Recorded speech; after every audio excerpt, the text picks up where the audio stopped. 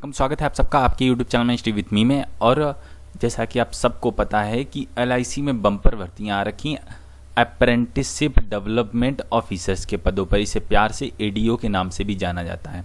तो एडीओ में bumper vacancy आठ हज़ार आठ सौ इक्यावन वैकेंसी ठीक है तो करीब करीब साढ़े आठ हज़ार वैकेंसी हम कहेंगे तो साढ़े आठ हज़ार वैकेंसी ऑल ओवर इंडिया के हैं, ठीक है। अब इनके टोटल बच्चों आठ जोनल ऑफ़िस हैं तो हर जोनल ऑफ़िस ने अपनी अपनी वैकेंसी निकाली। इस वीडियो में बस हम यही जानेंगे कि किस जोन में और किस किस, क्योंकि जोन को भी कई सारी अलग अलग भागों में, क्षेत्रों में डिवाइड कर दिया गया है, ठीक है। तो उसमें कितनी वैकेंसी डिस्ट्रिक्ट वाइज कितनी वैकेंसी है, इसमें हम सिर्फ़ आपकी वैकेंसी आपकी भर्तियों का बंटवारा देखने वाले किस ज़िले को कितनी कहाँ कहाँ वैकेंसी मिली है, ठीक है? और इसमें ऑल इंडिया के बच्चे अप्लाई कर सकते हैं। आप रहने वाले कहीं के भी हो, आप किसी भी जोनल ऑफ़िस में अप्लाई कर सकते हो, ठीक? आप कहीं से भी किसी भी जोनल ऑफ़िस में आप अप्लाई कर सकते हो, कोई दिक्कत की बात नहीं है, ठीक है? आगे देखते हैं। अब देखो, ये सबसे पहले जो आपका जोनल ऑफ़िस लेते हैं नॉर्थ सेंट्रल जोन जो पड़ता है इनका, जिनका हेड ऑफ़िस कानपुर में है तो इसकी वैकेंसी कितनी है, इसके बारे में हम इसके बारे में देखने वाले हैं, ठीक है? अब देखो वैकेंसी हम देखेंगे। सबसे पहले मैं आपको बता दूँ, ये यू आर का मतलब अनरिजर्व मतलब जनरल वाले बच्चे एस सी का मतलब आप जानते हो एस सी सी का मतलब यहाँ होता है करंट वैकेंसी बी का मतलब होता है बैकलॉग वैकेंसी बैकलॉग का मतलब ये होता है कि पुराने सालों में जो भर्तियाँ पूरी नहीं हो पाई, वो इस साल फिर कैरी फॉरवर्ड हो गई हैं, ठीक है? तो पुरानी यहाँ बैकलॉग की वैकेंसी ज़ीरो है तो एस सी के लिए तेईस वैकेंसी हो गई। एस टी के लिए देखें बैकलॉग में ज़ीरो है तो एस सी के लिए सिर्फ़ यहाँ पर एक वैकेंसी है और ओ बी सी के लिए यहाँ पर बैकलॉग वैकेंसी ज़ीरो और सी मतलब करंट की पच्चीस वैकेंसी और ई डब्ल्यू एस आप जानते हैं इकोनॉमी वीकर वाले सेक्शन तो इसमें क्या होता है कि जनरल में से दस परसेंट आरक्षण दिया गया ई डब्ल्यू एस में। अगर आप जो है ना, आपके नगर में जो, जैसे कि तहसीलदार हो गए डिस्ट्रिक्ट मजिस्ट्रेट हो गए, ये सब लोग ई डब्ल्यू एस का प्रमाण पत्र आपको देते हैं। तो आप अपना प्रमाण पत्र बनवाते तो आपको इसका रिजर्वेशन का फ़ायदा मिलेगा। तो आप देखेंगे, आगरा में टोटल नाइन्टी नाइन वैकेंसी आप ऐसे ही जिस ज़िले की देखना चाहें, उस ज़िले की देख सकते हैं। इलाहाबाद की 95 है। ठीक है गोरखपुर की आप देख सकते हैं, जो कि माननीय मुख्यमंत्री योगी जी का एरिया है तो उसमें 60 वैकेंसी है। कानपुर में आप देख सकते हैं सबसे ज़्यादा वैकेंसी 130 लेकिन इससे भी ज़्यादा मेरठ में वैकेंसी है 148 और टोटल कानपुर जोन में जो वैकेंसी है, एक हज़ार बयालीस वैकेंसी है। अब यहाँ से देख सकते हो चार सौ वालों के लिए 222 एससी वालों के लिए एसटी वालों के लिए बहुत कम वैकेंसी है, हालाँकि ग्यारह वैकेंसी है मात्र।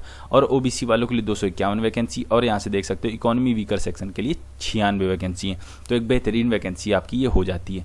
मैं एक बात अंदर की बताता हूँ कि इसमें कोई भी बच्चा, एक तो ऑल इंडिया के कैंडिडेट अप्लाई कर सकते हैं, कहीं से भी आप अप्लाई कर सकते हो, ठीक है? और दूसरी बात, इसमें सिर्फ़ मांगा गया है ग्रेजुएट सिर्फ़ अगर आप ग्रेजुएट हो, कोई परसेंटेज नहीं चाहिए। कितने भी परसेंट ऑफ़ इसमें अप्लाई कर सकते हो। हालाँकि अगर आपने कभी कोई मार्केटिंग से रिलेटेड कोई कोर्स किया है, कुछ एक्सपीरियंस है, आपने देखो एक टाइम था, आज के करीब पाँच छः साल पहले, कंपनियों की भागदौड़ सी मची थी। ये कंपनी महिंद्रा आ गई, ये ट्यूटोरियल कंपनी आ गई, ये कोई और कंपनी आ गई, ठीक, ये यूनाइटेड इंडिया आ गई, कोई जनरल इंश्योरेंस कंपनी आ गई तो ये सब कंपनियाँ इंश्योरेंस के क्षेत्र में काम करती थी।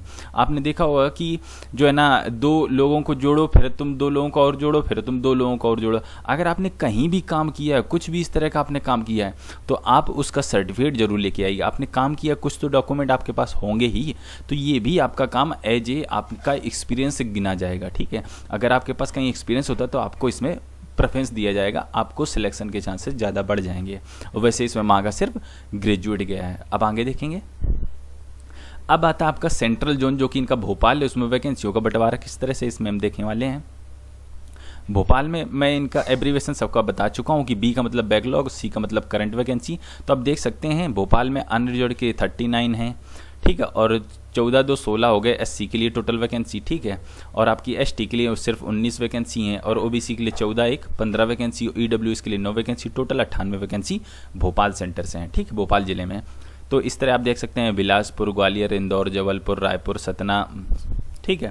तो आपके सबके सामने वैकेंसी ली टोटल है 525 वैकेंसी जनरल वालों के लिए 209 वैकेंसी ईडब्ल्यू के लिए सैंतालीस वैकेंसी और आपकी एससी के लिए आप यहाँ से दोनों जोड़ सकते हैं। एसटी के लिए आप इन दोनों को जोड़ के और जो ना ओ के लिए इन दोनों को जोड़ के टोटल वैकेंसी आपकी कुछ इस तरह बनती है। अब आगे बढ़ते हैं अब east central zonal office Patna जो कि पड़ता है, पटना में उसमें देखते हैं। देखो आप यहाँ से सारे ज़िले लिखे हुए हैं, जिस ज़िले में जो जो वैकेंसी है, आप देख सकते हैं। पटना वन, पटना टू करके इन्होंने बांट रखा अलग अलग पटना को ही जो है ना, दो जगहों में बांट रखा है। तो आप यहाँ से देख सकते हैं, sixty one sixty one vacancy हैं। सांबलपुर के लिए इतनी वैकेंसी है कटक के लिए इतनी, भुवनेश्वर के लिए इतनी, ठीक है। आप भागलपुर के लिए इतनी वैकेंसी आपके सबके सामने पूरी वैकेंसी लिखी आप वीडियो को यहीं पर पॉज कर लीजिए और देख लीजिए, ठीक है? आप ऑल इंडिया में कहीं भी अप्लाई कर सकते हैं। फ़र्क नहीं पड़ता, आप जो है चेन्नई के रहने वाले हो तो आप पटना के लिए अप्लाई कर सकते हो। कोई दिक्कत की बात नहीं इसमें, ठीक है? तो आपको जहाँ अच्छी वैकेंसी लिखे, जिस ज़िले में आपको काम करने का मन करे, आप उस ज़िले में अपना फॉर्म भरिएगा, ठीक है? अब देखो ये नॉर्थ जोनल ऑफ़िस जो कि दिल्ली में पड़ता है, अब दिल्ली में वैकेंसी कितनी इसके बारे में देख लेते हैं हम थोड़ी सा दिल्ली को देखो, जो इनका ऑफ़िस है, वो कहाँ कहाँ से बटा हुआ है? अजमेर, अमृतसर, बीकानेर, ठीक है? चंडीगढ़, दिल्ली को तीन भागों में इन्होंने बांट रखा जयपुर को दो भागों में, ठीक है? और जालंधर, जोधपुर, करनाल, लुधियाना, रोहतक, शिमला, ठीक है? आप वीडियो को पॉज करके इसमें क्रमशः वैकेंसी देख सकते हो और रिज़र्व कैटेगरी की भी वैकेंसी देख सकते हो, ठीक है? और इस तरह टोटल जो वैकेंसी बनती, ग्यारह सौ तीस जो आपका दिल्ली का ऑफ़िस है सबसे ज़्यादा मुझे लगता है इसी में वैकेंसी ग्यारह सौ तीस के आसपास आपकी वैकेंसी होने वाली है। ठीक है तो ये बात हो गई दिल्ली वालों के लिए। और थोड़ा सा हमारी स्लाइड चेंज हो गई है तो फिर इसे राइट टाइम हम लगाते हैं। तो हमने बात कर ली है दिल्ली तक के लिए। ठीक है, ये पटना की बात हम कर ही चुके हैं। दिल्ली पहुँचते हैं। तो ये दिल्ली न्यू दिल्ली के लिए। तो इस तरह कुछ सीटों का बंटवारा है। आप वीडियो को पॉज करके इसे अच्छे से देख पाएँगे। अब हम आगे चलते हैं। अब हम बढ़ते हैं ईस्टर्न जोनल ऑफ़िस इनके कोलकाता में, ठीक है? तो इसमें देखेंगे कौन कौन सी कहाँ कहाँ किस ज़िले में कितनी वैकेंसी हैं? तो आप यहाँ से देख सकते हैं। आसनसोल में टोटल अड़तीस वैकेंसी, ठीक है? गुवाहाटी, हावड़ा, जोधपुर, ठीक है? तो आप यहाँ से देख सकते हैं। सिलचर तो आप अपने ज़िले के हिसाब से सारी वैकेंसी आप यहाँ से देख लीजिए सामने। टोटल 922 वैकेंसी हैं इसमें। अब थोड़ा और आगे बढ़ते हैं। आठों जो इनके जोनल ऑफ़िस आठ हैं, उनके सब में देख रहे हैं। अब हम साउथ की तरफ़ चलते हैं। साउथ सेंट्रल जोनल ऑफ़िस, जो कि हैदराबाद में पड़ता है। तो इसमें कितनी वैकेंसी हैं, इसके बारे में भी थोड़ा सा देख लेते हैं। अच्छी खासी वैकेंसी है इनके लिए भी। कड़पा करके जगह है, डिस्ट्रिक्ट है, उसमें 102 वैकेंसी, हैदराबाद में 101 वैकेंसी है।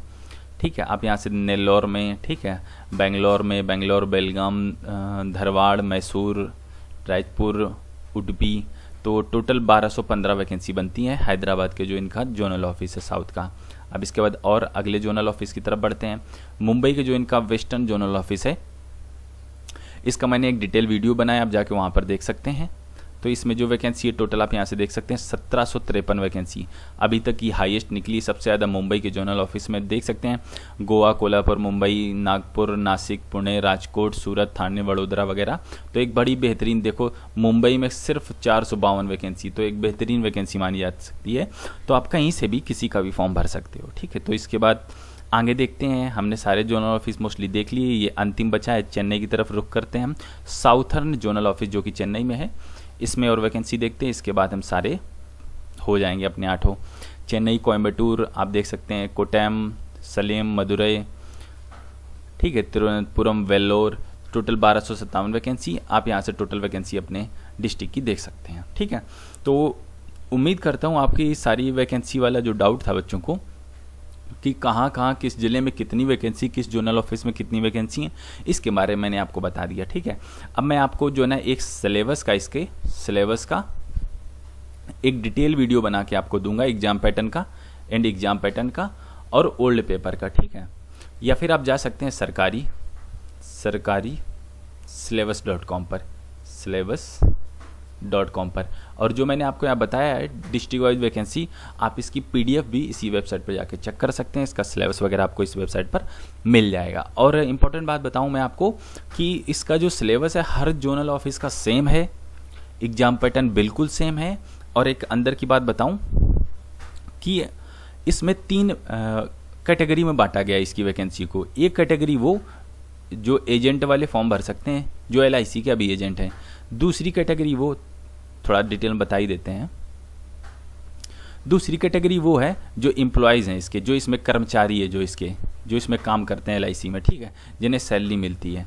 एजेंट को सैलरी नहीं मिलती। एजेंट जितनी पॉलिसी करवाएगा, जितने लोगों को लेके आएगा, उसके हिसाब से उसे जो है ना प्रतिशत कुछ डिसाइड होता है कि इतना प्रतिशत तुम्हें जो है ना मुनाफा मिलेगा एक पॉलिसी करवाने पर। इसके बाद जो तीसरा है ये अदर कैटेगरी अदर कैटेगरी अब देखो बच्चों, अगर कोई एजेंट है एल का तो इस कैटेगरी के तहत फॉर्म भरेगा, ठीक है? और जो कर्मचारी है LIC का, वो इस कैटेगरी के तहत फॉर्म भरेगा, और जिस जो कुछ नहीं है, जिसने सिर्फ़ ग्रेजुएट पास किया है, वो अदर कैटेगरी की तरह से फॉर्म भरेगा। अब देखो छूट क्या है जो एजेंट और कर्मचारी कैटेगरी से फॉर्म भरना है? उन्हें छूट ये है कि इन्हें सिर्फ़ मेन्स एग्ज़ाम देना है। सिर्फ़ मेन्स एग्ज़ाम देना है प्री एग्ज़ाम इन्हें नहीं देना है। और मेंस में भी इन्हें काफ़ी ज़्यादा छूट मिली हुई इनके ज़्यादा क्वेश्चंस वगैरह नहीं है। अब जो अदर कैटेगरी के बच्चे हैं, इन्हें क्या पहले तो ये प्री एग्ज़ाम देंगे? देन ये मेंस देंगे। देन आपका एक होगा इंटरव्यू, फिर आपका एक होगा मेडिकल। तो आपकी ये चार, जो आपकी चयन प्रक्रियाएँ ये चार हैं, और जो आपकी हैं, इसमें आपका मेंस हो जाएगा, फिर आपका एक इंटरव्यू, फिर आपका एक मेडिकल। ठीक है? तो इस तरह आपकी एजेंट और कर्मचारी वालों के लिए ये जो मुख्य अंतर था वैकेंसी मैंने आपको बता दिया है, ठीक है? और उम्मीद करता हूँ आपकी जो है ना वैकेंसी से बंटवारे के रिलेटेड जो भी डाउट रहे होंगे, वो आपके क्लियर हो गए होंगे। आप हमारी वेबसाइट विज़िट कर सकते हैं, सरकारी सिलेबस डॉट कॉम। हम आपसे मिलते हैं अगले वीडियो में, तब तक के लिए वंदे मातरम।